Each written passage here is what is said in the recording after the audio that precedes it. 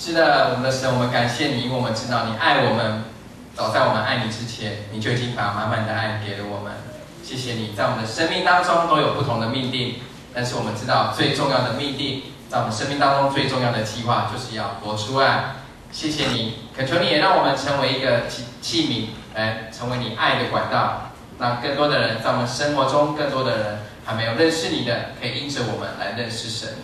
谢谢你在我们生命当中的每一天，你的爱都保守我们。虽然有的时候我们的心刚硬，我们不认为这是来自于神的爱，或是我们没有察觉，但是都恳求你知道这是我们的软弱。但是我们也知道你爱我们，无论怎样，你的爱都时时与我们同在。谢谢你因着爱我们，再次的聚集在你的圣殿。我们将今天的一切的敬拜都交托在你的手中，也愿你的灵与我们同在。我要将我们的教会交托在你的手中。在我们这段期间，我们没有牧者的时候，我们恳求你依然与我们同行。我们也相信你必定与我们同行。我们在这个教会，我们要尊你为大，我们要尊主做大。谢谢你啊，为我们裁判，知道你的羊群们需要有牧者来牧养我们，有牧者来关心我们。是的，我们要将这些事交托在你的手中，愿你大大的掌权，成为我们前面的方向。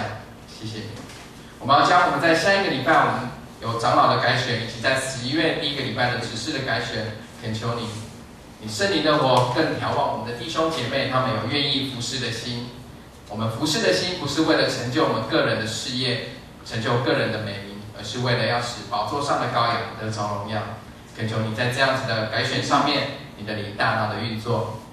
我们将今天一切的敬拜完全交托在你的手中，愿你的圣灵特别与我们的牧师、与我们的传道、无传道同在。愿他的口所讲的都是有利于，使我们的心都能够得着益处。也恳求你恩高他的身心里，一切都有圣灵你的保守。我们将以下的敬拜时间完全交托在你的手中，恳求你与我们同在。这样祷告，奉主耶稣的名求，阿门。